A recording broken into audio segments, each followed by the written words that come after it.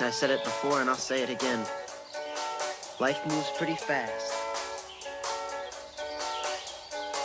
It's not about personality matrixels and charts. It's all about the bumps in your heart.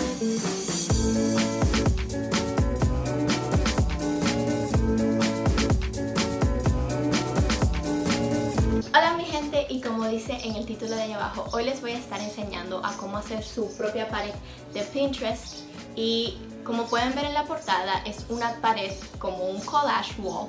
Ustedes no saben lo que es un collage wall. Literalmente miren la portada de este video o yo le voy a poner como imagen aquí para que ustedes sepan. Pero es como una pared llena de imágenes random. Ahora, a mí me surgió esta idea porque yo estoy renovando mi habitación. Lo mencioné en el último video que yo hice, que es como un día productivo conmigo, digo, en mi penúltimo video. Eh, ahí yo estoy limpiando mi habitación completamente para poder iniciar la renovación. Y el primer paso fue pintar mis paredes. No sé si se pueden dar cuenta, ya mis paredes no están de ese color como rosado. Claro que estaban antes, ahora tan blanco. Y a mí me encanta que esté blanco porque como que la, la, habitación se siente más grande, obviamente el blanco hace que todo se vea más claro, pero vamos al punto de este video. Entonces, como les estaba diciendo, yo quería como añadir algo a mi habitación que me represente y que cuando yo lo vea yo me sienta como que, wow, qué lindo me quedó esto. Entonces, yo he estado viendo en Pinterest esa idea de lo collage wall y de, lo, de la pared llena de imágenes y yo dije, yo quiero hacer ese mismo. Hay una persona que los vende, como que vende paquetes de imágenes que tú puedes poner en tu pared. Pero yo vi el precio y eso es el equivalente a 3 mil pesos. Y yo no estoy por dar 3 mil pesos en un par de imágenes, ¿tú me entiendes? Cuando tú las puedes seleccionar tú mismo y imprimirlas tú mismo. Así que eso es básicamente lo que yo le voy a enseñar a hacer el día de hoy, que no tiene mucha ciencia. El primer paso fue buscar las imágenes que yo quería en Pinterest si ustedes están interesados en hacer este mismo DIY ahora en cuarentena, a DIY me refiero como que a manualidad en cuarentena, les voy a estar dejando las imágenes que yo busqué en mi Pinterest. O sea, si ustedes quieren me pueden ir a seguir a mi Pinterest, pero nadie sigue a nadie en Pinterest. Es simplemente como que para que tengan imágenes de lo que quieren poner en su pared. Entonces, eh, eso fue lo primero que yo hice, buscar imágenes que me gustaran en Pinterest y las puse dentro de una carpeta en Pinterest. Se llama de que Abril Díaz López Aesthetic. Como le dije, le voy a dejar el link en la descripción por si ustedes lo quieren ver. Y el siguiente paso fue imprimir las imágenes. En total, yo... Ah, bueno, no, yo no le dije este otro paso que era como que pasar las imágenes de Pinterest a Word. Eso fue lo que yo hice, ¿verdad? Yo no me enfoqué en hablarles tanto de pasar las imágenes a Word porque yo siento como que eso no es un proceso complicado. Es simplemente pegar las imágenes al documento y ajustarlas al size que ustedes prefieran y después las imprimí. Y aquí tengo todas mis imágenes impresas y recortadas porque eran como 50 páginas y obviamente hay que recortar el exceso de hoja blanca que tengan las imágenes. Mi gente, actualmente cuando yo estoy grabando este voice over son las 2 de la mañana, así que les quiero pedir disculpas si mis palabras no tienen mucho sentido. Pero el punto básicamente es recortar el exceso de hoja en blanco y señor, esto no me tomó de que 5 minutos, como ustedes lo pueden ver aquí en video, me tomado, me tomó el diañe.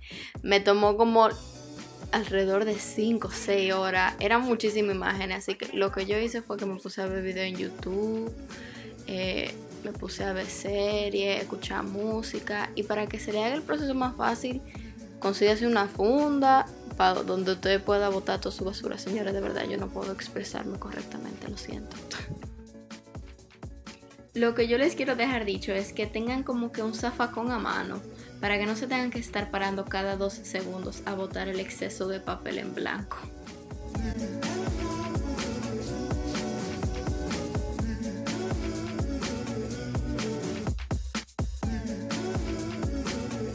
Entonces, el primer paso que yo voy a hacer al momento de como que pegarla en la pared es contar cuántas imágenes tengo, porque son muchas.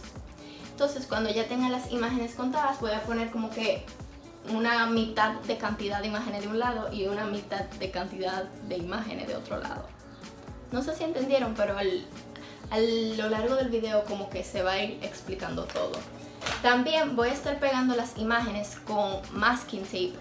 ¿Por qué masking tape? Porque supuestamente yo busqué en internet este tape no es, es, lo suficientemente como que pegajoso para agarrar las imágenes a la pared, pero no es lo suficientemente pegajoso para quitar la pintura de la pared, porque no es verdad que yo acabo de pintar mi pared para después de cacarala, ¿tú me entiendes? Y aquí también tengo como que otras cositas que quiero pegar a la pared y como un mapa que tengo que recortarle las esquinas que están como media feas para también pegarlo en la pared. Así que vamos a iniciar con el asunto de la pegadera y de comenzar a poner el tape. Mi plan es como cortarlo en pedacitos, ¿verdad? Y esos pedacitos como que ponerlo en la esquina de la imagen. Yo se lo voy a enseñar ahora para que ustedes me entiendan mejor. Ok, mi gente, básicamente así es que yo voy a estar como que agregando el masking tape a la parte de atrás de la imagen para que tenga como que suficiente soporte de las cuatro esquinas. Y terminé contando todas mis imágenes y en total tengo 88 así que 44 de un lado y 44 de otro. Ustedes van a ver al cabo de o sea ustedes van a ver como la distribución de las imágenes al cabo de que yo lo vaya pegando. Señores esta es la primera imagen de 88 que voy a estar pegando en mi pared. Eh, estoy bien emocionada voy a tratar de no arruinarlo porque al mismo tiempo estoy grabando y se me hace un poco difícil, pero wow. Señores, yo tengo una emoción porque yo quería hacer esto desde hace mucho. Yay, miren qué lindo. Más o menos para que ustedes tengan una idea de cómo que yo voy a estar pegando las imágenes, yo me voy a asegurar de que todas las imágenes estén como que por encima del borde de mi cama. Y me imagino que van a tomar como que todo este espacio y todo ese espacio, que en verdad me parece muy bien y va a ser como que un lindo fondo en mis videos. Y nada, mi gente, como pueden ver aquí, simplemente estoy pegando la cinta adhesiva al papel y luego pegando... Ustedes, ustedes pudieron oír ese grito. Yo estoy de que, déjame yo grabar esta hora a las 5 y 45 porque tú sabes, no hay nadie. Ah, estamos en toque de queda. Y los vecinos están vueltos locos. Pero ese no es el punto. Para seguir con el voiceover, señor, ustedes pueden. Cada vez que yo comienzo a grabar el bendito voiceover, el vecino del frente, el carajito del vecino de enfrente pega un grito. Yo voy a tener que grabar esto a las 2 de la mañana. Ay, Jesucristo. Ok, mi gente, estoy grabando a la una y media de la mañana. Yo sé que ustedes ni siquiera se están dando cuenta, pero por fin no hay bulla de fondo y eso que estaba lloviendo hace como media hora.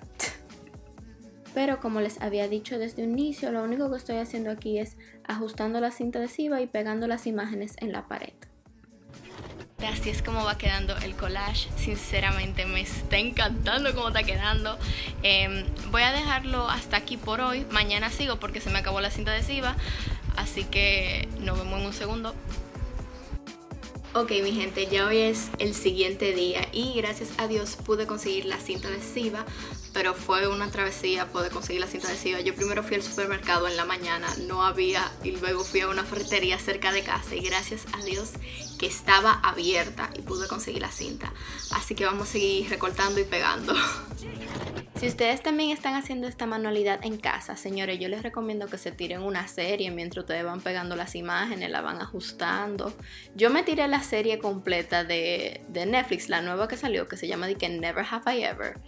Muy buena, muy chistosa. Me gustó el mensaje y pienso que como una serie más o menos realista. Es como disparatosa, pero se las recomiendo. Y nada, mi gente, como pueden ver aquí estoy dando los últimos toques. No me gustó cómo se veían en esa esquina, o sea, de ese lado, entonces los pasé para arriba y me gustó más este resultado.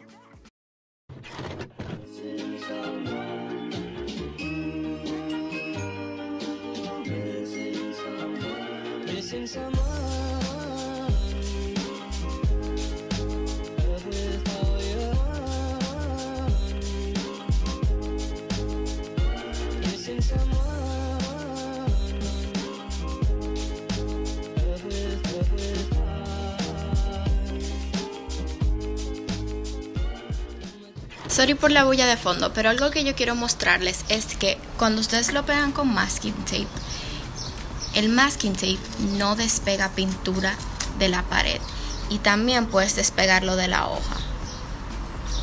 Y se ve también como que como que tú no lo pegaste con cinta adhesiva, se ve liso.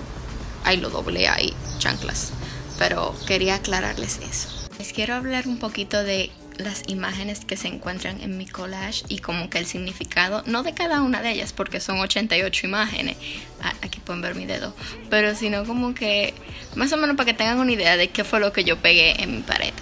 Por ejemplo, yo me aseguré de buscar cosas como que me identifiquen, ya sean películas que me gustan, versículos que me motiven o principios que yo quiera incluir en mi vida, cosas que cuando yo me levante o cuando esté en mi cama me motiven o me hagan sentir como que de alguna manera mejor. Por ejemplo, esta frase que dice, be somebody who makes everybody feel like a somebody.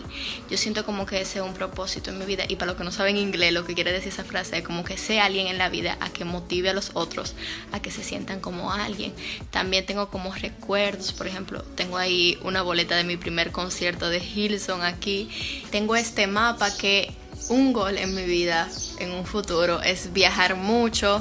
Y yo yo he viajado antes, pero todo ha sido como que Estados Unidos, entonces no quiero que marca solamente Estados Unidos. También me gusta mucho mi mapa porque tiene como que el Caribe marcado ahí, entonces sí, porque yo vivo en el Caribe. También tengo como, como dije, películas, la mayor. Esta es mi película favorita de los 80, por eso lo tengo ahí. Tengo escenas de mis series favoritas como Sex Education y Anne with an E. Eh, música que me gusta como The Beatles o la banda de Police, lo tengo acá abajo.